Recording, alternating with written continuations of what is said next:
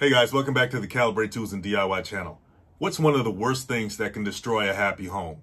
Let's find out right after this. You know, one of the best gifts you can give that special someone in your life, especially if they're a DIY tool lover like myself, is a household toolkit for those small jobs or a picture hanging tool for the decorator in them. You can find all those over at caliber8.com, including our newly added gift set tool bags and gift boxes with all the goodies in them. Head on over to caliber8.com and grab yours today while supplies last. Links in the description.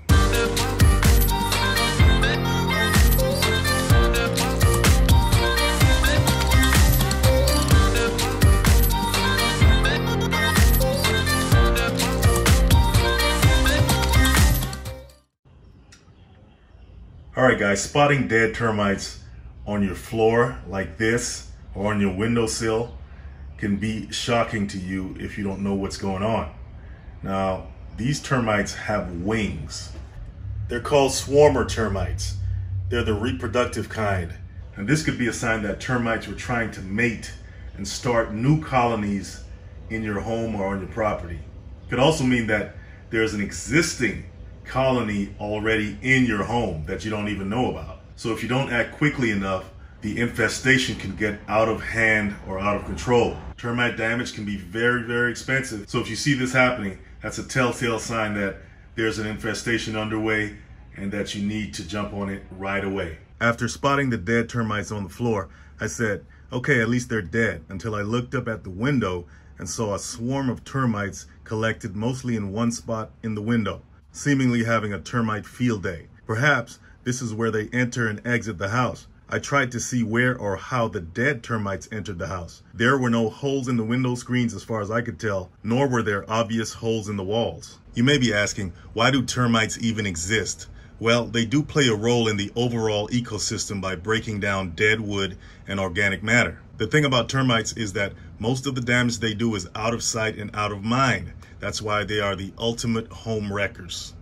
A termite colony has a queen and she's responsible for laying the eggs. She's pretty much the baby making factory and without her, there is no colony.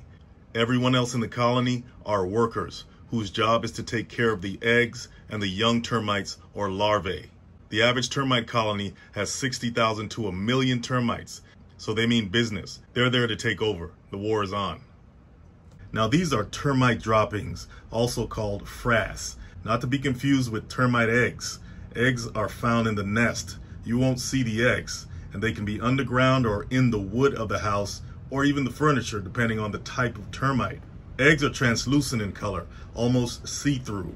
Droppings like this are brownish in color and can look like sawdust, coffee grounds, or even very small pellets. Fresh droppings have a moist appearance, while older droppings have a dry appearance. In any case, even if you see no termites at all, but you see these droppings, that's definitely a sign of an infestation.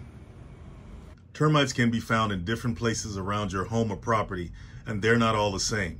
You have dry wood termites, and as the name suggests, they live in dry wood. As I mentioned, that can be furniture, wooden floors or ceiling beams, even dry firewood. They also live in trees. Damp wood termites, on the other hand, prefer damp, moist places like soil or rotting wood. They like water, so if you have standing water around your home, even puddles near a wooden structure, then expect them to set up shop. Same goes for subterranean termites who nest underground in the soil. They love damp, moist places. Any wood that's wet, be it tree stumps, wet wood laying around, they're on it. Termite damage can actually be mistaken for water damage just for this reason. Any chance they get, they will find a way into your home. Holes or cracks in your wood siding, cracks or fissures in the foundation, cracks or crevices on your roof, especially a leaky roof. If you see these on your walls, understand that the termites have already invaded the fortress. These are called mud tunnels or mud tubes. The worker termites make these out of soil, wood, and saliva, and they use them to travel back and forth from the nest to the wood buffet, which is your house. Why do they build these tubes? Because the tubes keep the termites in their own temperature controlled atmosphere, insulating them from the dry air outside while maintaining a humid atmosphere inside. This is usually the case for the subterranean termites who require a certain humidity level to survive. These mud tunnels are commonly around the foundation of your home or any wooden structure, even on trees. To find evidence of termites, look for signs of mud tunnels around the foundation of your home. Once again, be on the lookout for cracks or holes, no matter how small they may seem. Use caulk, cement, or grout to seal them up. Termites can squeeze through an opening as small as a 32nd of an inch, which is a little bit wider than a human hair. Keep the soil around your foundation dry by making sure water doesn't collect where the foundation meets the soil. So you have to have proper grading as you move away from the house. The ground should drop one inch for every foot that you move away from the house for the first five to 10 feet around your house.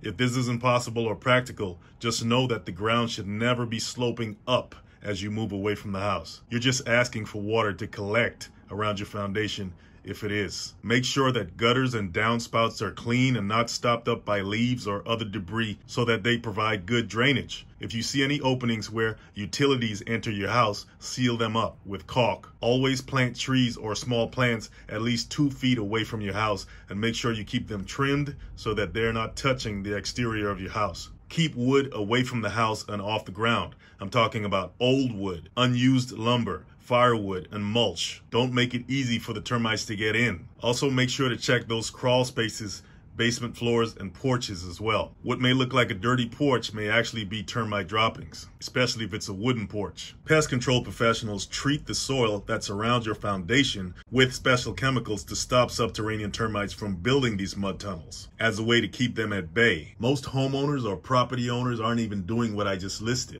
thus exposing themselves to these silent home wreckers and financial destroyers. Just listen to the stories that are out there, one of which is a house that sits on a concrete slab which many think makes it immune to a termite invasion. On the contrary, concrete slabs make it even more difficult to detect a termite infestation because they enter through the cracks in the slab that are not visible. Next thing you know, they're having a party in your wall frames, floorboards, and roof joists. Well, that's what happened to this particular house, which was sold to certain unfortunate individuals who had unknowingly bought the termite infested dwelling for $487,000. They found out the hard way after starting renovations, only to end up selling the house for $360,000 in an area where the home prices were going for $560,000. That's a loss of about $130,000. According to the story, 75% of the house was affected by termite damage, and it was confirmed that the damage existed before the sale.